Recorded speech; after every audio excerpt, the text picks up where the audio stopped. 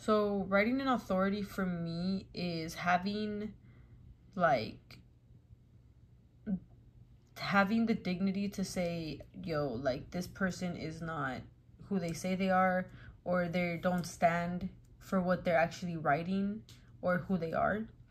Or at least bringing that to light like you can bring that to light in a research project and say this person is stating this but they are doing the complete opposite. Like using their work but debunking them.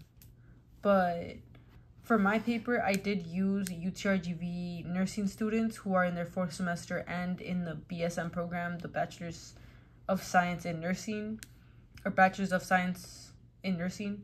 Um i used abby i used angela and i used rensali. Yeah i used rensali. Um as for my article i used julie menzies she is a nurse research at birmingham women's and children's um she is from the united kingdoms but this article was published in the US um, from the University of Birmingham. And I didn't find anything um, to tarnish her reputation.